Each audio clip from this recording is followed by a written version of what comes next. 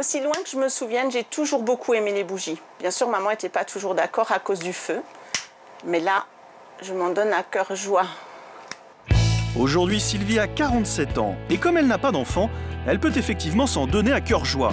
Regardez chez elle, allumer la lumière ne lui prend pas juste une seconde, le temps d'appuyer sur un bouton, mais 10 bonnes minutes montre en main.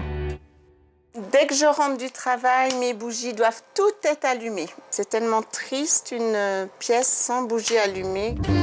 Alors pour égayer son intérieur, Sylvie a disposé une bonne centaine de bougies un peu partout, y compris dans les pièces les plus inattendues, comme sa salle de bain.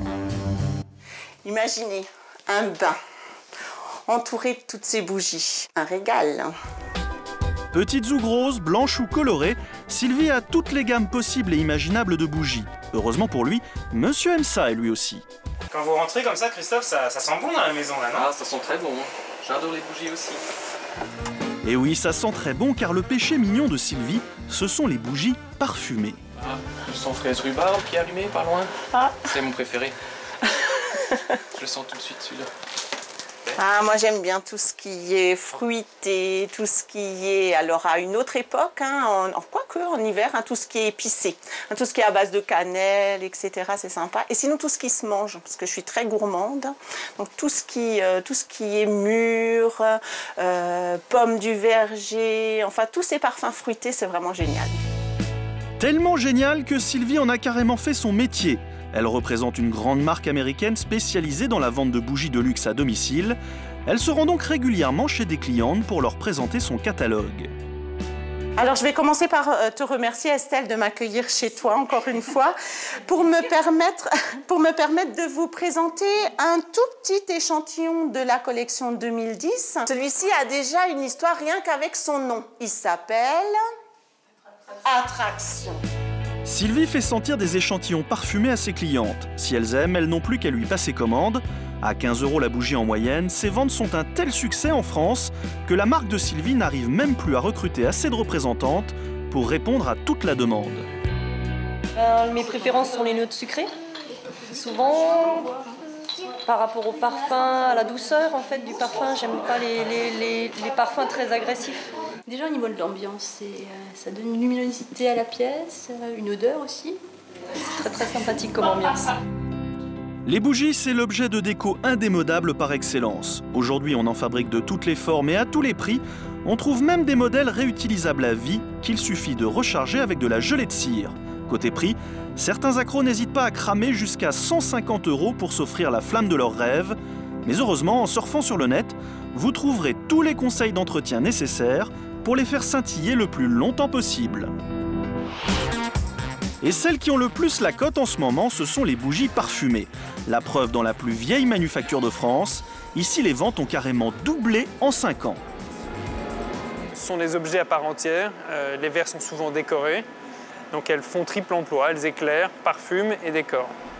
Le parfum, c'est l'élément incontournable de la bougie moderne. Aujourd'hui, presque toutes les grandes marques ont leur propre bougie parfumée, mais attention, ce marché exige un vrai savoir-faire. Ici, le parfum est mélangé à la cire à la dernière minute afin de ne perdre aucun de ses arômes. Mais ces bougies parfumées sont-elles efficaces et surtout présentent-elles un risque pour notre santé? Écoutez la réponse de cette spécialiste qui a enquêté sur la question. Nous avons testé plusieurs bougies.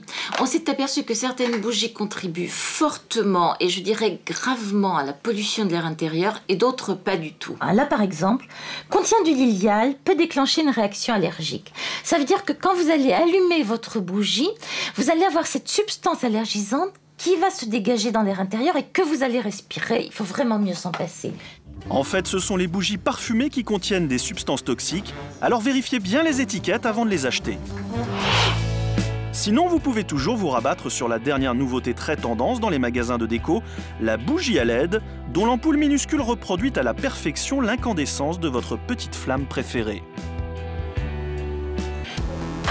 Bonjour Reste que la lumière d'une bougie est tout de même plus chaleureuse que celle d'un néon ou même d'une ampoule. Et pour une fan comme Juliette, le top, ce sont les photophores, ces vases plus ou moins colorés dans lesquels on place une petite bougie. On met des chauffe-plats à l'intérieur, donc on peut le garder à vie. C'est ça. Extraordinaire. Ça ne bouge pas. Mais aujourd'hui, c'est sur des bougies parfumées plus traditionnelles que Juliette jette son dévolu. Hum, ça, on a envie d'en manger. Si elle le pouvait, Juliette achèterait toute la boutique. Mais à 25 euros l'unité en moyenne, elle doit se réserver pour les occasions spéciales. On vient vraiment ici pour faire plaisir, pour faire un beau cadeau. Euh, et en même temps, on se fait plaisir également. Pour les pannes d'électricité, pour euh, euh, les bougies que l'on met sur des chandeliers, etc. Après, pour la bougie simple, il y a d'autres adresses. Et justement, Juliette nous emmène maintenant dans une boutique de décoration discount où elle a sa technique pour se faire plaisir pour presque rien. Mais moi, ce qui m'intéresse dans ces magasins-là, ce sont les petites bougies chauffe-plat. Parce que l'avantage, c'est qu'on peut les mettre dans des photofolles. C'est vendu par paquet, en général de 50 voire de 100. Et donc, effectivement, 3,95 euros les 50 bougies, c'est top. Et voici le résultat quelques heures plus tard. Juliette vient d'investir dans un chandelier acheté dans une grande enseigne sur lequel elle pose ses bougies premier prix. Associé à ces deux modèles en terre cuite, c'est largement suffisant pour recréer immédiatement une ambiance chaleureuse et tamisée. Avec ces deux magnifiques bougies que j'ai achetées dans la boutique spécialisée, euh, et puis avec ce chandelier, il m'a coûté que 30 euros à la base. En fait, voilà, on peut créer une ambiance sympathique, chaleureuse, et, euh, ce n'est que du bonheur. Ce n'est que du bonheur.